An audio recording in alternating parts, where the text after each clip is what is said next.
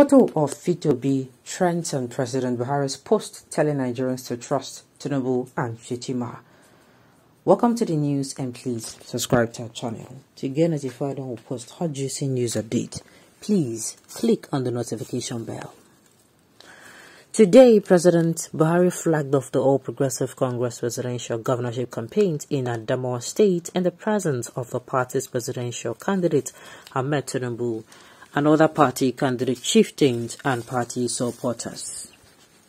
However, the president took to his social media page to acknowledge the flag of ceremony and indicate that he embraced the message of renewed hope of the All Progressive Congress presidential candidate Ahmed Tinubu and made it known that Nigeria should, should trust the party candidate and his running mate Kashim Shettima.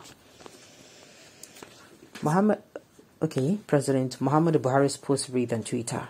It goes thus. I want you all to all wholeheartedly embrace the message of renewed hope on which our candidate and party are campaigning. You can trust Tinubu, the Jagaban of Borgu, and our party's flag bearer and presidential candidate, together with his running mate, Senator Kashim Shettima. However, in responding to the president's message, some of his followers took to the time to share a photo of the presidential candidate of the Labour Party, Peter Obi, by indicating that he was a better candidate who could help the country. Some of the reaction that showed the post reached talks. Peter Obi revived the Labour Party in just six months, the same way he revived APGA. He revived the youth participation in politics within six months of joining Labour Party. It will be of note that Peter Obi is a candidate enjoying the support of majority of Nigerian youth on social media who have chosen him as their preferred candidate. Hmm.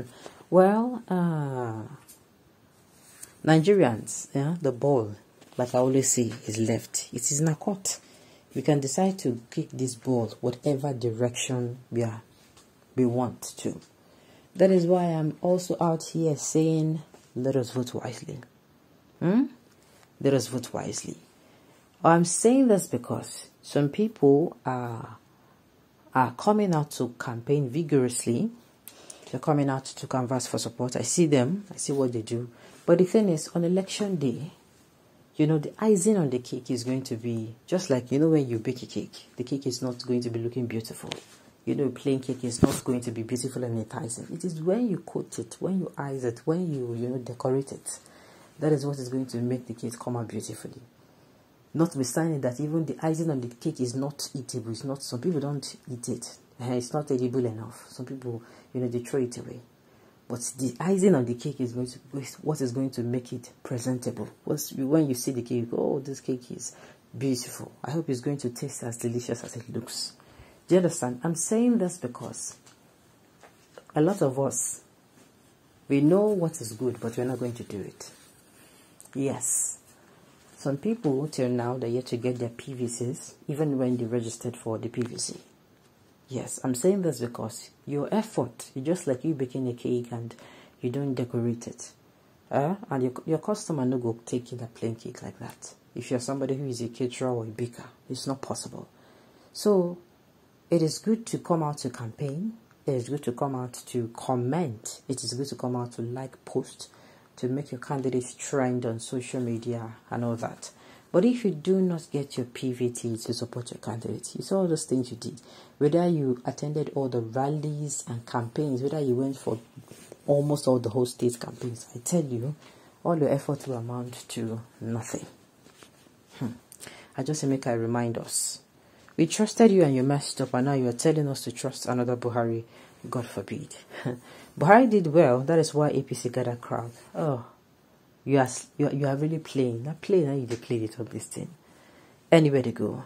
Tinubu is experienced to build foundation laid by Buhari for this country. Okay? Okay. Buhari do not have the morals. I'm telling you. He do not have the morals to tell Nigerians who to trust. These people, CAPC most importantly, they don't have the right. They don't have the morals to come out and tell us uh, this is who to vote for. These people, we give them Nigeria on a platter of gold.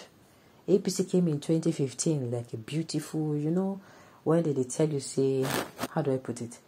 You know, Nigeria was like a bride, and APC came in and was boboing Nigerians. Oh, don't worry, I will buy mansion for you. I will build house for you. All the beautiful things of life. I'll buy you Brazilian hair. You know, no say, person where you deal with that time. Maybe Nigerian don't know, person will be your husband that time. They try for a pass. Maybe PDP. You understand? So after boboing APC, see waiting they don't. After APC bobo, see where Nigeria don't reach. You know? Even to go back to that person, that person that you were in Nigeria, that place we were before, 2015 where a lot of things were still more considerable. Our naira still had value. One naira was at 200 naira to a dollar. Yes, at that time, and you know, rags um, prices of goods were still okay. Somebody who earned 18,000, the basic salary then, you know, you could could put a lot together with that 18,000 than the 30,000 naira we have now. that cannot even buy you one bag of rice. Okay.